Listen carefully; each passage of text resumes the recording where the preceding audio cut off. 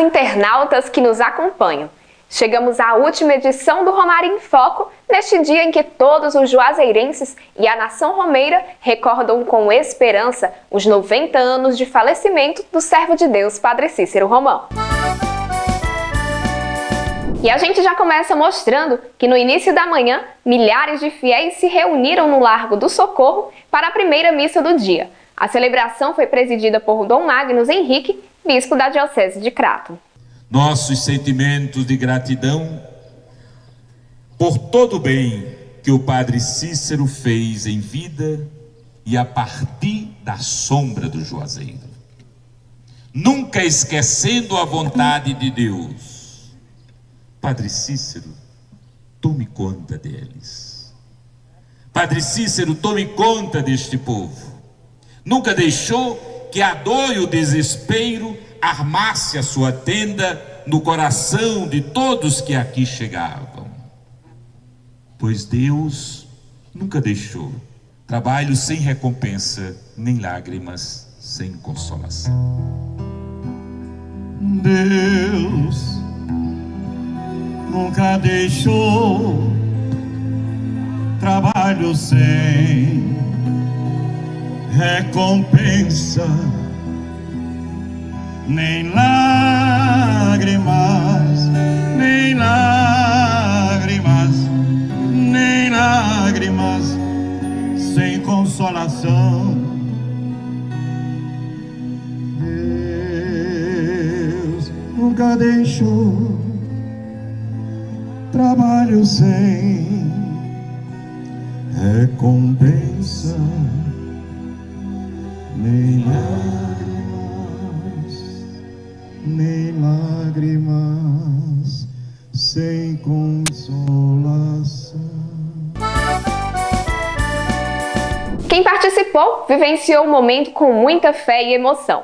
Vamos ouvir alguns relatos dos romeiros que estiveram na missa. Desde que eu nasci, eu já me criei a minha avó vindo para Juazeiro, né? Minha avó que era mãe Lia.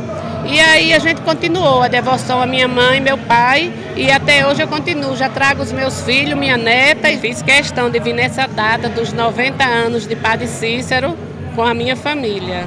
Padre Cícero é um padre que deixou para nós nordestinos a fé de hoje estarmos aqui representando a nossa comunidade, a nossa família. E hoje é só felicidade, só gratidão.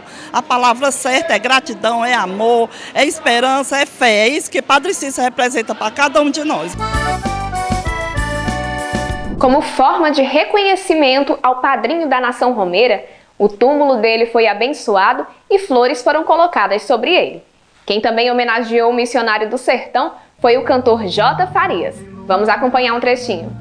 Uma graça festejada, meu padrinho Romão, penitente, parto já pro juazeiro, sou romeiro, peito aberto na oração.